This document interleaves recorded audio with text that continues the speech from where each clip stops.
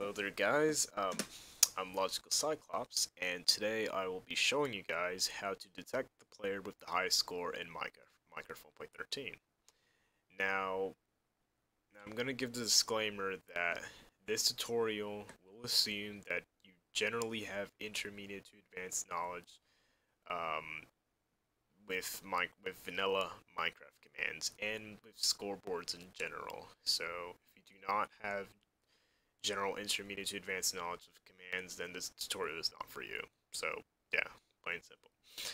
Now, carrying on, um, what you'll need to have is your scoreboard that you that you want to detect the player with the highest score in, like so, as how I have it over here, right?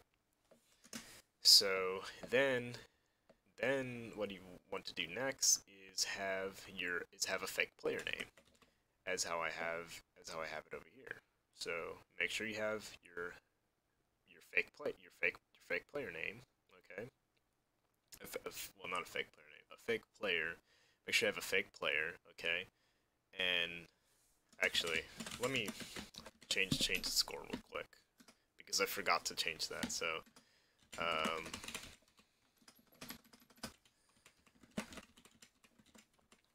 So basically just have your fake player name. Well, actually this is probably good that I've made that mistake. So you set your your fake player name like this, like so, right? So scoreboard player set high score 0. Well, kill 0 rather, okay? So there we go, alright? So you should have your fake player name, okay?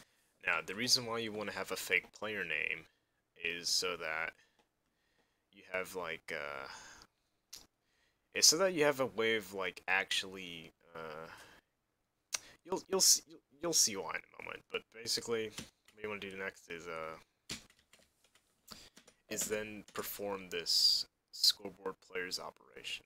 So you then want to do execute as at and at at it well not exactly like this verbatim but you get the point execute as identity tag equals player run scoreboard players operation so then you want to have the fake player be the um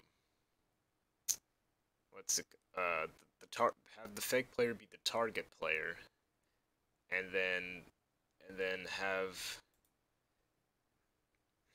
and then have the executor, right, be the selector, okay, which you would put at, at S over here, okay.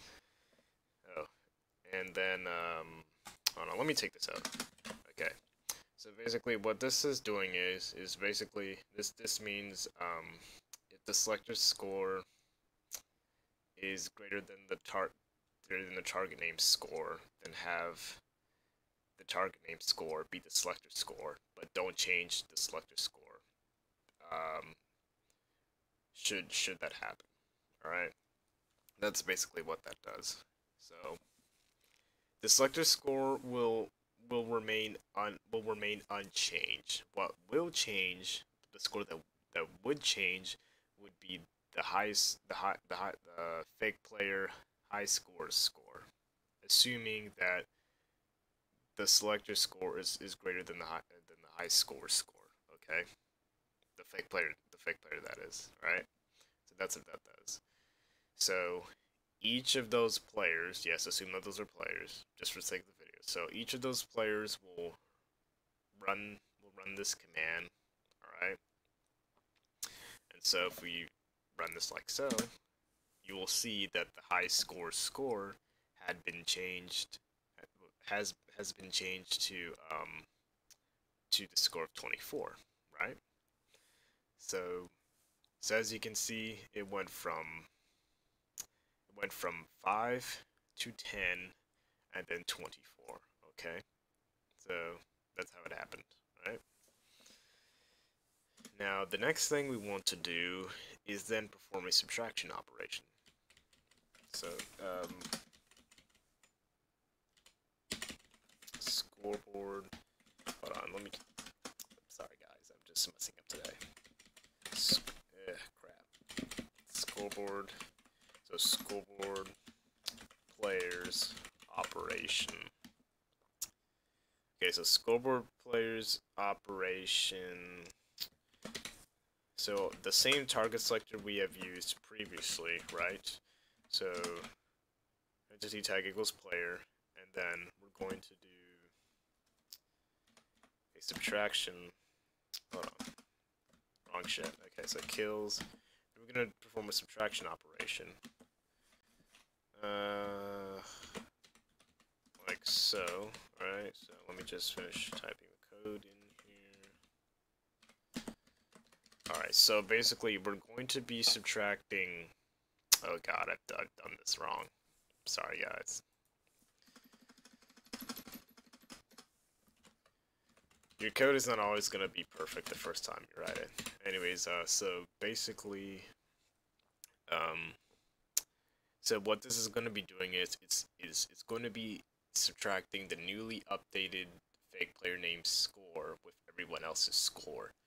Now, if we do now, now notice how the the highest player's score is 24, and that fake player name score matches with that player's score because well, that's the highest. That's a, that's a player with the highest score, right? So if we subtract everyone's score with the high score score, right? So if we do that, right, should get, oh, oopsie. I think I've done, okay. I think I've done it backwards, so give me a sec, guys. So, okay, so let me fix it real quick.